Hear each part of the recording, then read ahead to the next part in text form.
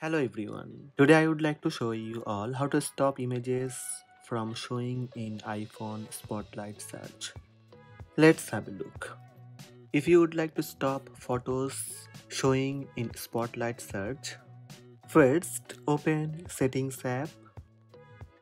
In Settings, scroll down little bit and tap Photos. Then tap Siri and search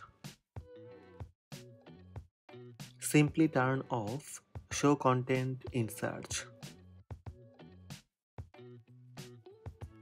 Now go back to Spotlight search and search anything.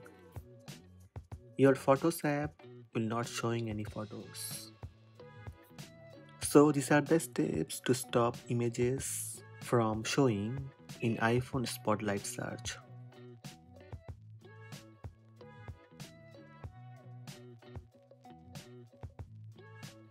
Hope this video help you. Please subscribe my channel by tap subscribe button. Also tap the bell icon to receive notifications about all new videos.